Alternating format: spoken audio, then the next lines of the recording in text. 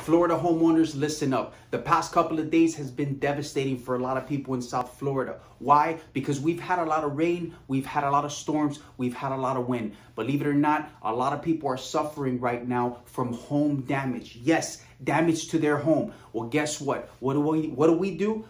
My name is Rob Gonzalez from PereGonza the Attorneys, and we're homeowners insurance attorneys. What do we want to do for the community, especially right now when people need it? We want to review your homeowners insurance policy for free. Yes, a licensed attorney is going to review your homeowner's insurance policy for free. We're going to tell you what your rights are, and we're going to tell you whether you can file a claim against your insurance company to get your home fixed because that's why we pay insurance. Okay, on top of that, if you feel you have damage to your home, whether it's a leaky roof, whether it's flooding, whatever it may be, if you feel you have damage to your home, we want to send a professional out to your home for free. We want a professional to inspect your home and check to see if maybe you can file a claim.